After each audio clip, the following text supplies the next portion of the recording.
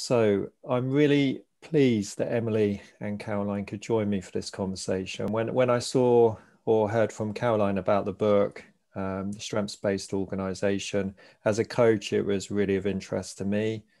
Um, as, as a topic, anything to do with positive psychology usually is. So I was I was really pleased that Caroline and Emily could make the time today for, for the for the session. First of all, thank you uh, for, for joining me.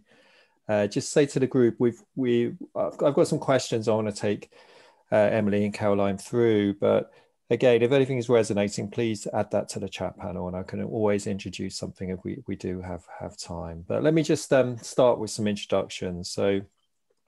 And Emily, if there's anything you want to add to this, but just I suppose as a headline, you're you're the founder of Applied Psychology and you're a chartered occupational psychologist. Um, anything else you want to add in terms of your your work? No, I think I think I want to get on to talking about the book, so that's okay. absolutely fine. Thank you, Jamie. no, no, no.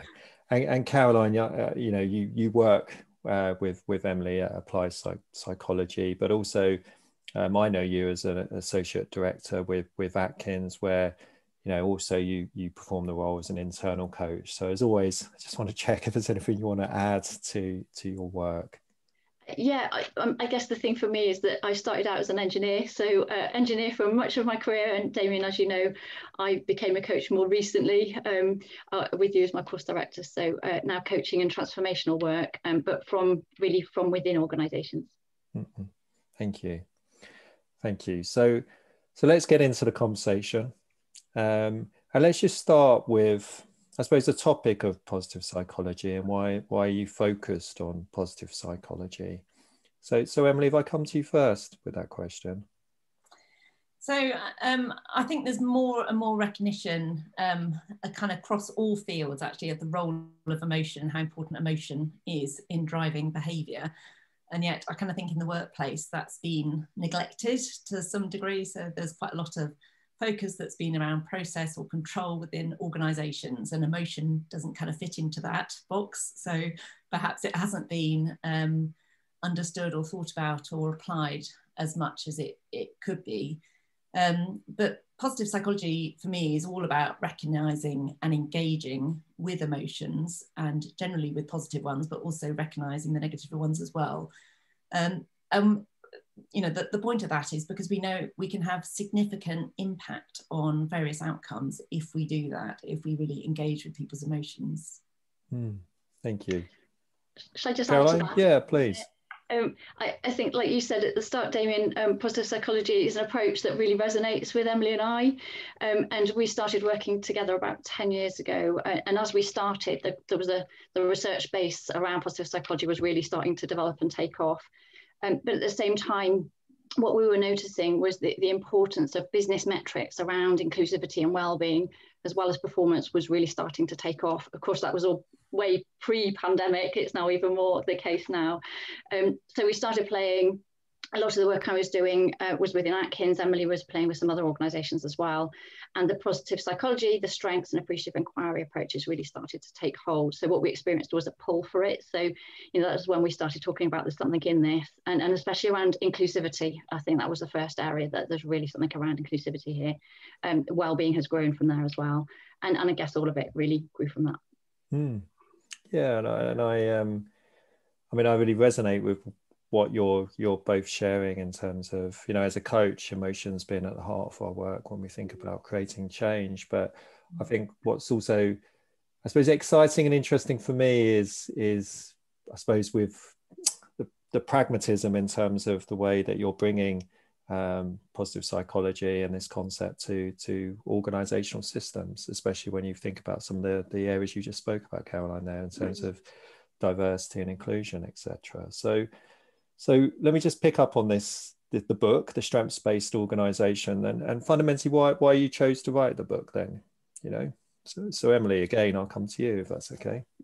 Yeah, sure. So, um, so I've been a psychologist for a long time, for um, over 25 years, and I think, uh, you know, I'm passionate about psychology, but I'm really passionate about taking kind of the theory and the science and the research that comes from the movement of psychology and applying it, because for me, if you can't kind of bridge that um, divide between theory and practice, then you can't really realize the value. And I suppose my reason for going into psychology was that it's all about helping people and making a difference, and especially to the workplace. So in, I've always been very keen on that kind of application uh, piece. So I guess I've always, um, or for some time, I've wanted to write a book, which is really about trying to do that, trying to take that kind of theory and translate it. And I think that's where kind of Caroline and my partnership really kind of came into play that I could kind of bring that theory. She's got that um, in-depth kind of experience of working in an organization for a long time. And then together we could do that kind of translation piece and capture it or try to capture it. Hmm. Uh, whereas I didn't want to write a book at all. That was absolutely Emily. um, but, but, what happened was that as as our work grew, uh, we kept getting asked for stuff. So I'd be getting phone calls from people saying, "I've been told to call you. I'm not t- not entirely sure what it's about." And I'd say, "Oh, is it strength?" So like, "Yeah, that was it. Where do I start?" Mm. And um, what we found that was that I, I was spending more and more time with people taking them through the basics, and it was getting quite intense on our time and we felt that we found that there really was a translation needed from the theory into practice into normal business life for people in organizations just trying to make a difference um, and although there's some really great books out there and on the market around strengths-based approaches and positive psychology we couldn't find quite the right material on the market for us to recommend to people in organizations who were keen to make a difference and we really wanted to enable people to be able to do things for themselves um, for it to grow as business as usual and take hold more quickly than it can if you're just in a coaching relationship. So um, without us constantly being the catalyst we were looking for that material to get people going and we needed something to bring it all together because it was getting quite intense to start repeating this. Mm. so that was really the driver yeah, and I think what, what Caroline just said about kind of helping, you know, letting people apply it for themselves, that that's been really key, I think, for both of us actually. I mean, A, there's a reality of, you know, we there's only two of us and we can't do everything. We're, you know, we don't have endless hours in the day. So in a way, if you want to be able to introduce something into an organization, you know, you can't do it single-handedly or, or even with, you know, uh, two of us, you can't do that. You need to be able to find a way of helping people to do it for themselves. But I mean, I'd always sort of say, you know, ethically, a kind of sort of part of being an occupational psychologist, occupational psychology for me is all about kind of being able to find ways to kind of share understanding and knowledge and help people, you know, be able to um, do things for themselves. And I think that's kind of a key ethos, as I would think it would be, you know, for coaching as well, that it's about giving people or helping people to understand they already know stuff. Because actually, quite often with the strength stuff, we sort of say, well, it's kind of obvious, it's intuitive actually um, what we're trying to do is just to kind of draw out that intuition and then help people to think about it more explicitly so they can apply it to make a difference. Mm-mm. Thank you. Thank you. Yeah, and I suppose, you know, from your experience, um, thinking about approaches such as positive psychology, strengths, how, how, how would you say that this approach differs from other approaches?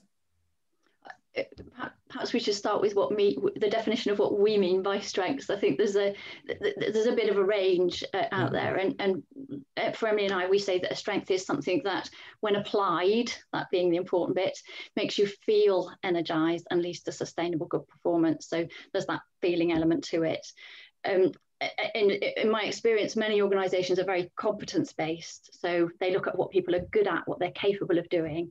Um, and that in contrary to what makes you feel good. So this is a this is probably the most important shift in thinking that, that that's needed across organizations to make that real difference. Mm. um, you know and these are organizations that are heavily based their histories are heavily based on competency frameworks to assess performance competency based interviews to even get in. And whilst those can be really helpful they really miss out or don't tell you what people enjoy doing or are motivated by.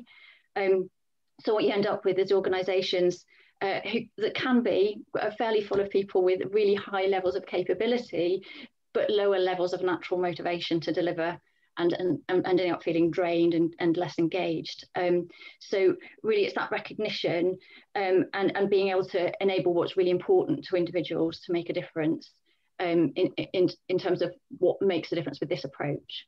Mm. And yeah. if I, oh, sorry, Emily, can I just come in on something? Yeah. I'm just thinking you really emphasize the word applied so I just wonder, could you, before I get moved to Emily, is okay, just say a bit more about the the applied piece around the performance and energy, etc. You, you touched on. Yeah, so so actually people can uh, know know their strengths from a profile, or you know have an awareness of what they really enjoy doing, and that they'll probably be good at. But unless they're actually bringing it in to achieve something, then that applied bit is not there. They're not using their strengths. They're just a, a capacity in the background. So it's about really starting to bring that into apply to something that they want to achieve. Hmm. Thank you, Caroline.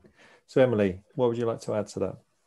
I was, I was just going to um, comment on, so one of the things that I often get asked or, or quite often comes up is, um, you know, how is this different from personality? Because um, obviously a lot of people, you know, in the workplace, I think when they're doing things around kind of behavior, um, use personality tools. And that's something we've used for a long time, you know, for years in the workplace. So things like Myers-Briggs. Um, Insights is um, increasingly popular as well in organizations.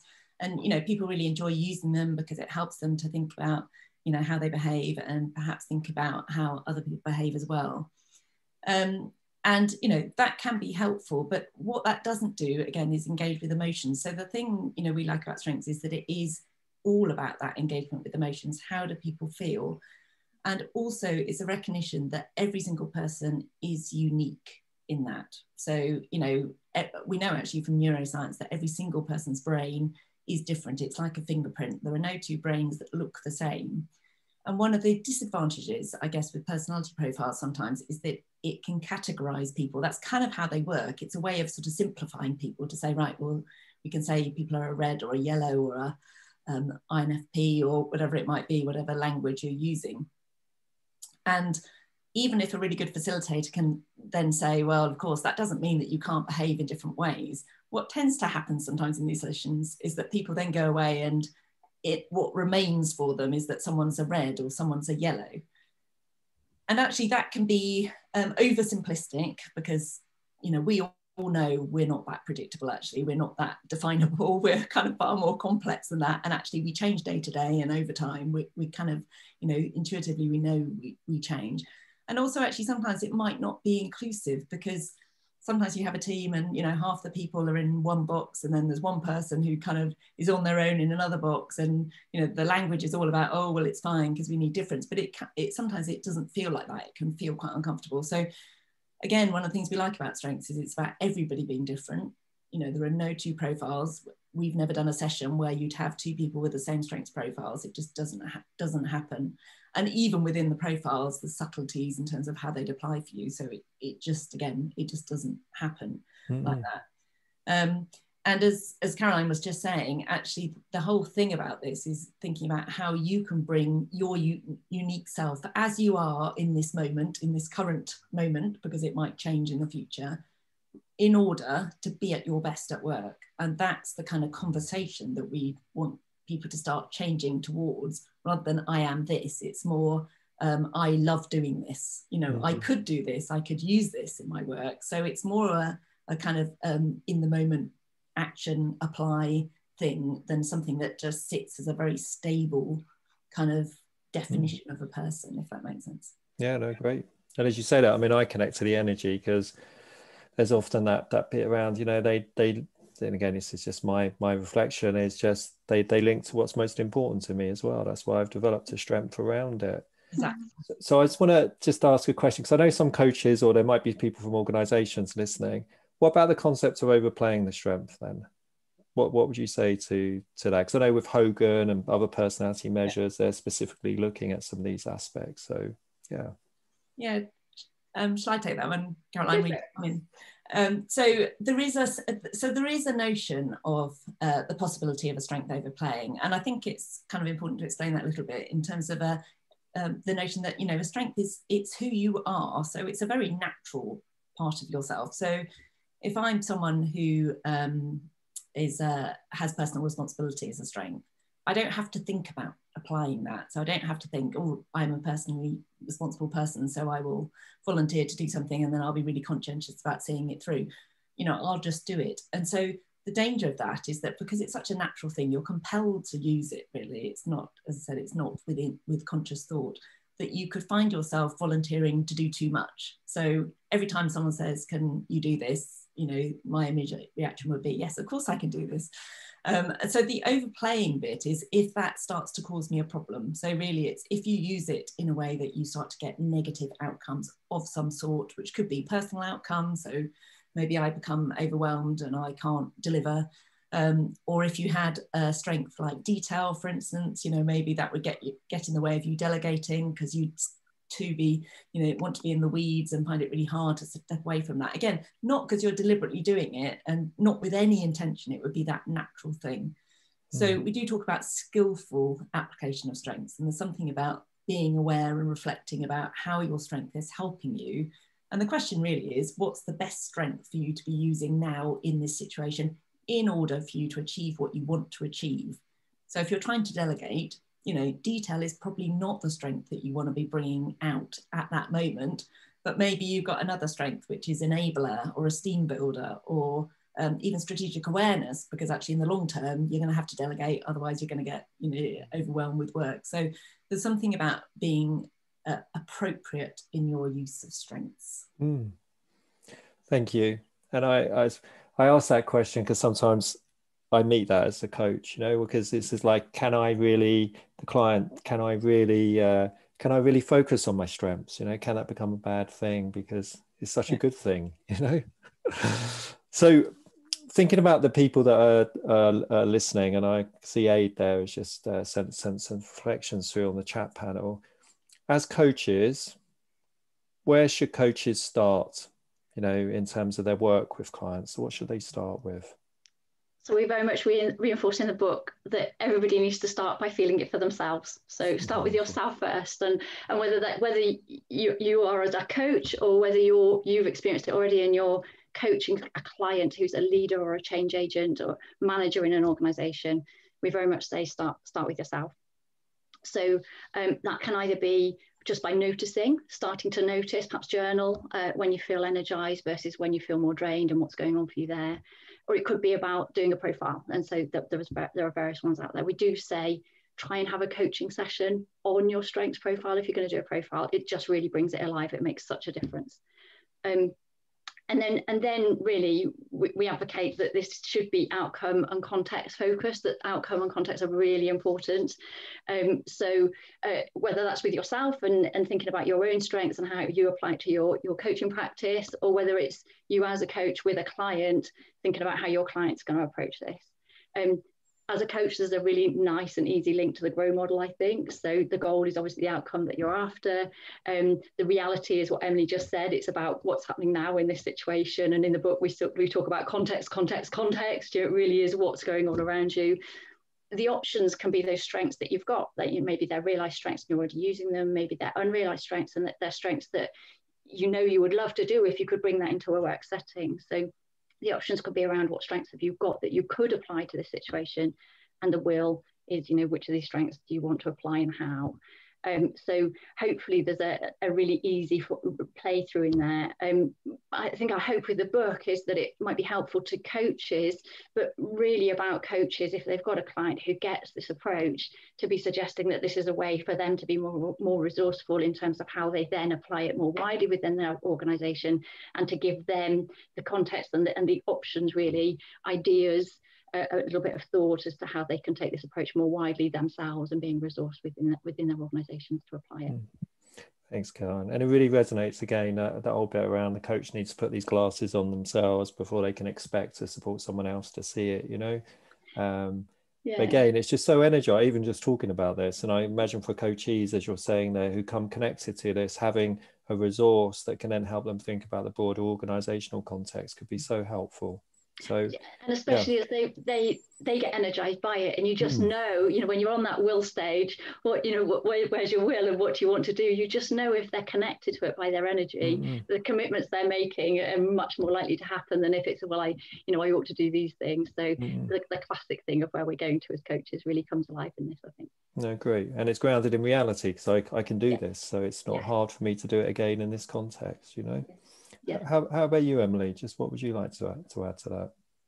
I think there's a, there's a few things that just popped into my head actually. So so one is about recognition of um, strengths, and I think that there's two things. So one is about I think um, you need to be a little bit careful as a coach not to assume that you know what your coachee's strengths are. So there's something about, you know, strengths are felt. So quite often when we look at someone else and we might think, well, um, you know, I think their strength is, um, I don't know, of an example of detail. Let's use detail again. I think their strength is that because they're really good at detail. You know, I see them doing it really well. And whenever I we have a discussion, they always kind of drill down to the detail. Um, so it's very easy to kind of assume just because there's a competency that someone is good at something and that they do it because they might do it because it's always been reinforced their entire life that it's good. So they kind of keep doing it. Um, it doesn't necessarily mean that it's energizing. So there's a real kind of subtlety with strengths is that only the person themselves can really know what they are because they're the only one that knows how they feel. You know, no one else really knows that. They only know it by asking the questions and then communicating that. So I think that there's just that kind of point. And then um, obviously there are sometimes non-verbal signs of strength. So you can see when someone's really animated or, or not. But again, people really vary in their emotional range. So for some people, it's really obvious hmm. when they're, you know, excited about something.